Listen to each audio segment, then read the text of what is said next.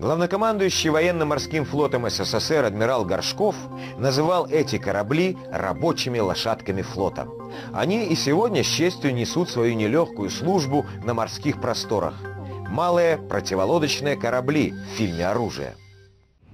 Охрана прибрежной зоны и борьба с подводными лодками противника была одной из важнейших задач, которая в послевоенные годы встала перед военно-морским флотом Советского Союза.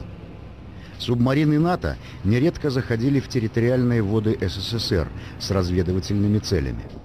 В арсенале потенциального противника появились многоцелевые атомные подлодки с ядерным оружием на борту. Для противостояния этой угрозе нужно было срочно создать новый подкласс кораблей, который пришел бы на смену заслуженным, но уже морально устаревшим морским охотникам проекта 122. Ведь их предназначением была борьба в прибрежных районах с дизельными субмаринами, которые имели небольшие скорости хода. Эти обстоятельства и определяли требования к поисковым возможностям, составу оружия и тактико-техническим элементам охотников в целом. Их оружие в основном состояло из глубинных бомб, которые по одной сбрасывались сверху на обнаруженную лодку.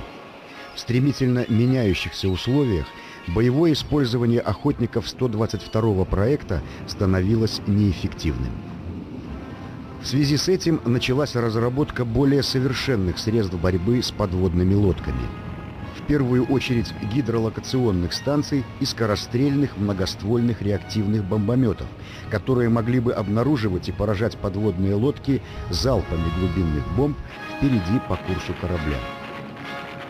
Эти средства борьбы были реализованы в новом проекте малого противолодочного корабля, который пришел на смену охотникам за подводными лодками первого послевоенного десятилетия. Тактико-техническое задание утвердили 10 апреля 1956 года. Проект получил обозначение 204. Специально для этого корабля была спроектирована оригинальная движительная установка. Вращаемые дизелями грибные винты помещались в трубы, в которые нагнетался воздух, создавая дополнительную тягу. В таком режиме работы скорость движения значительно возрастала. Всего для военно-морского флота СССР было построено 63 малых противолодочных корабля 204 проекта. Большинство из них находилось в боевом составе флота до конца 80-х годов. Малый противолодочный корабль проекта 204. Водоизмещение 555 тонн. Длина 59 метров. Ширина 8 метров. Осадка 2,8 метра. Силовая установка дизель-газотурбинная суммарной мощностью 39 500 лошадиных сил. Дальность плавания 2500 миль. Скорость 35 узлов.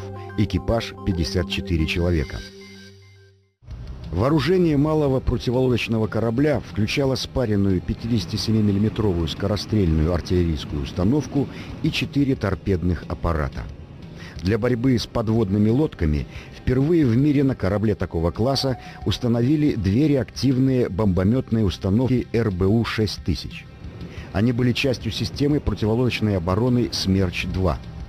Данные для стрельбы передавались на установку автоматически от системы управления огнем. Сама пусковая установка представляет собой 12 скрепленных между собой труб. Боезапас каждой установки состоит из 96 реактивных бомб.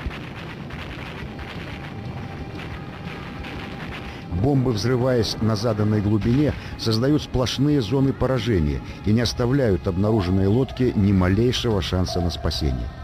После израсходования всех бомб пусковая установка автоматически возвращается в позицию загрузки.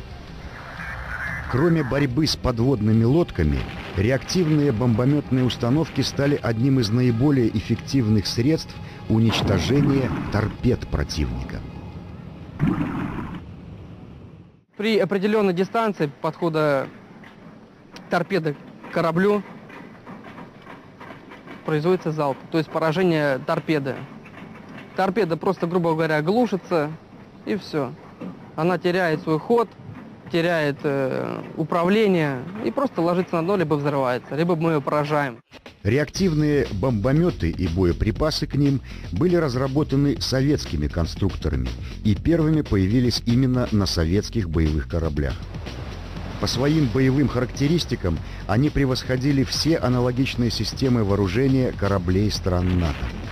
Реактивные бомбометные установки прошли не одну модернизацию и сегодня находятся на вооружении всех основных классов боевых кораблей.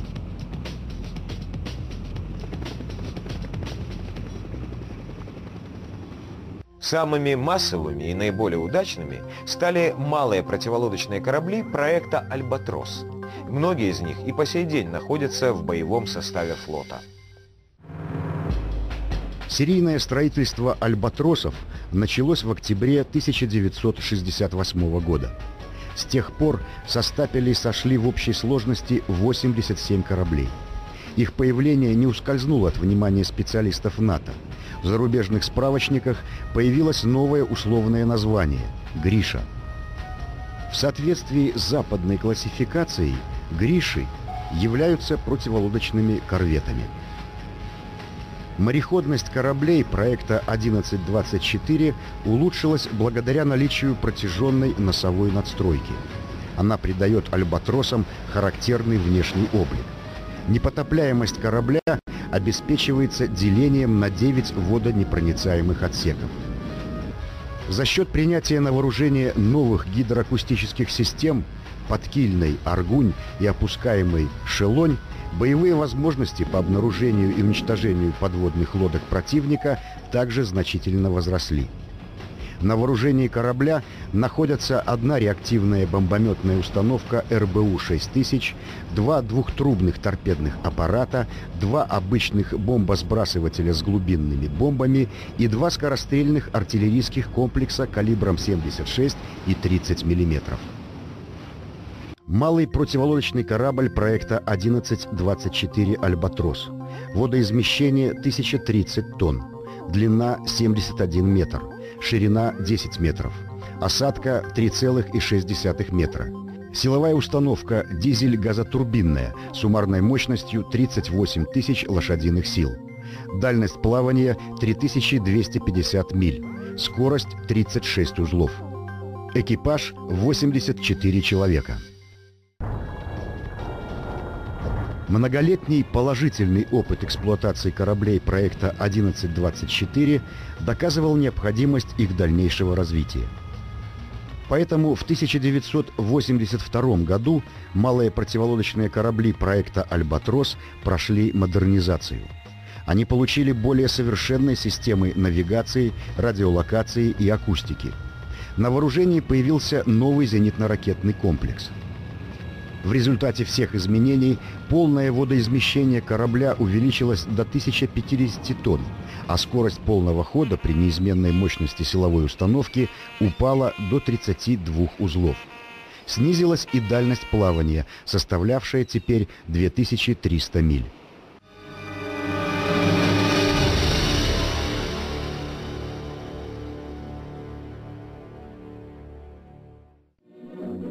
В 70-х годах на базе малого противолодочного корабля проекта 1124 «Альбатрос» в Германской Демократической Республике с помощью советских специалистов был разработан проект 1331.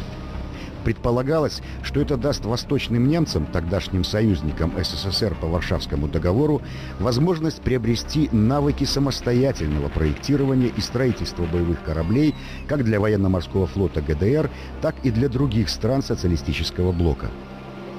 По соображениям политического характера и в качестве оплаты долгов ГДР перед СССР – 12 малых противолодочных кораблей, построенных по модернизированному проекту 1331М, были переданы Балтийскому флоту России.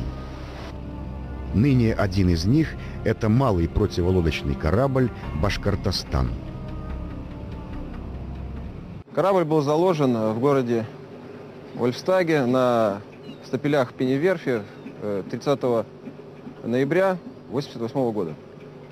Спущен на воду 30, 31 ноября 1989 года по тактическим номерам 228.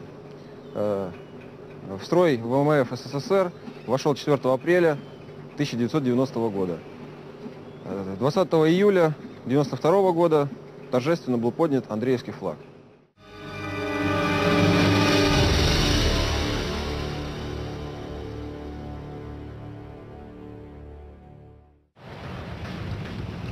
Первый малый противолодочный корабль проекта 1331М вошел в состав военно-морского флота СССР в декабре 1986 года.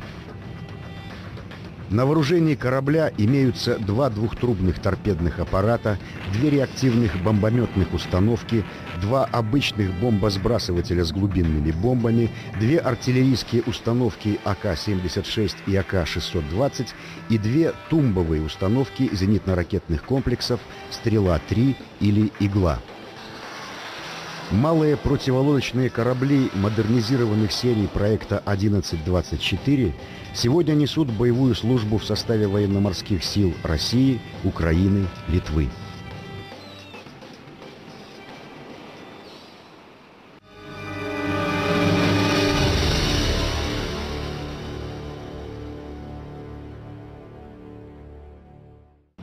Применение малых кораблей в локальных войнах и конфликтах доказало, такие скромные боевые единицы могут успешно противостоять крупным группировкам военно-морских сил противника в прибрежной зоне.